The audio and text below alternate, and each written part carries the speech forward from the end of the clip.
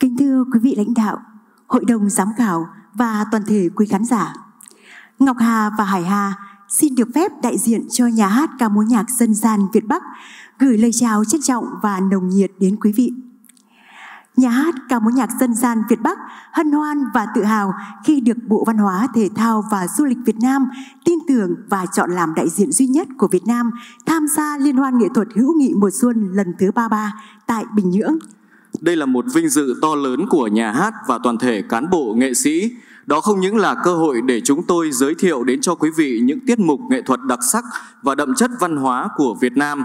mà còn là dịp để chúng tôi góp phần thắt chặt tình hữu nghị truyền thống giữa hai nước Việt Nam và Cộng hòa Dân chủ Nhân dân Triều Tiên. Chương trình tham dự Liên hoan nghệ thuật hữu nghị mùa xuân của nhà hát ca mối nhạc dân gian Việt Bắc là một lời ca ngợi tình đoàn kết và sự đồng lòng giữa hai dân tộc anh em Việt Nam và Cộng hòa Dân chủ Nhân dân Triều Tiên, cả trong lịch sử và văn hóa. Chương trình tham dự liên hoan của nhà hát được chia thành 3 phần theo thứ tự thời gian. Nội dung phần 1 chương trình là các ca khúc lịch sử nổi tiếng của Việt Nam, phản ánh các giai đoạn quan trọng trong lịch sử đấu tranh chống xâm lược của nhân dân Việt Nam, ca ngợi sự lãnh đạo sáng suốt của Đảng Cộng sản Việt Nam và Chủ tịch Hồ Chí Minh – tôn vinh tinh thần quả cảm, anh dũng và hào hùng của những người chiến sĩ cộng sản, những người đã đem xương máu của mình để đánh đuổi bè lũ đế quốc và giành lại độc lập cho dân tộc, đồng thời còn là một lời nhắc nhở về giá trị của sự đoàn kết, lòng dũng cảm và hy sinh, những giá trị mà người Việt Nam và người Triều Tiên luôn coi trọng trong suốt lịch sử của mình. Phần 2 của chương trình sẽ giới thiệu đến quý vị một số tiết mục ca múa nhạc dân gian đặc sắc của các đồng bào dân tộc thiểu số vùng núi phía Bắc của Việt Nam như một lời tri ân đến các thế hệ đồng bào, các dân tộc thiểu số đã cống hiến tâm sức và xương máu của mình cho sự phồn vinh của Việt Nam. Qua đó, Phần 2 không chỉ giới thiệu văn hóa đa dạng của các dân tộc thiểu số ở Việt Nam mà còn góp phần khẳng định sự đoàn kết và mối liên kết chặt chẽ, thống nhất trong đa dạng của năm tư dân tộc anh em trong đất nước Việt Nam. Và đặc biệt là trong phần 3 của chương trình, các nghệ sĩ của nhà hát ca mối nhạc dân gian Việt Bắc sẽ gửi tới quý vị các ca khúc ca ngợi lãnh tụ kính yêu Kim Jong-un và đất nước Cộng hòa Dân chủ Nhân dân Triều Tiên, thể hiện tinh thần hữu nghị sâu sắc giữa Việt Nam và Cộng hòa Dân chủ Nhân dân Triều Tiên.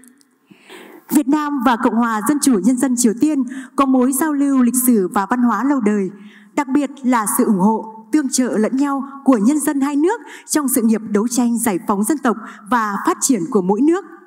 Những tình cảm của Cộng hòa Dân chủ Nhân dân Triều Tiên dành cho nhân dân Việt Nam trong công cuộc đấu tranh giải phóng, thống nhất đất nước, cũng như sự nghiệp xây dựng chủ nghĩa xã hội của Việt Nam sẽ mãi là tài sản quý báu, là nền tảng của quan hệ hữu nghị truyền thống giữa hai đảng và hai nhà nước.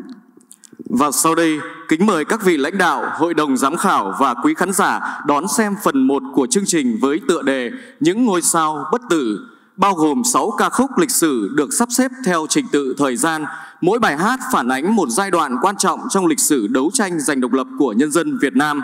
Mở đầu là tổ khúc hát múa, đất nước đứng lên, đoàn vệ quốc quân, tái hiện không khí sôi nổi và tinh thần quật cường của nhân dân Việt Nam trong thời kỳ đầu của kháng chiến chống thực dân Pháp.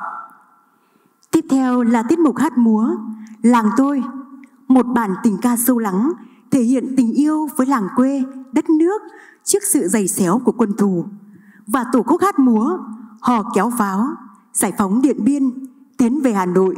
Mô tả quá trình lịch sử hào hùng Từ chiến thắng Điện Biên Phủ đến giải phóng Hà Nội Là điểm sáng trong cuộc đấu tranh chống thực dân Pháp xâm lược. Sau đó chúng ta cùng đến với ca khúc Bế Văn Đàn Sống Mãi tưởng nhớ và ca ngợi người anh hùng Bế Văn Đàn, biểu tượng của lòng dũng cảm và sự hy sinh trong cuộc kháng chiến chống thực dân Pháp xâm lược. Và cuối cùng, kính mời quý vị khán giả cùng thưởng thức hai ca khúc Ngày mai anh lên đường bày tỏ tâm trạng và quyết tâm của những chiến sĩ cách mạng trong cuộc kháng chiến chống đế quốc Mỹ với niềm tin và hy vọng về một tương lai tươi sáng cho đất nước và ca khúc Vết chân tròn trên cát, một bài hát tôn vinh sự hy sinh của các thương binh và chiến thắng của nhân dân Việt Nam để đất nước được hoàn toàn giải phóng, non sông nối liền một giải.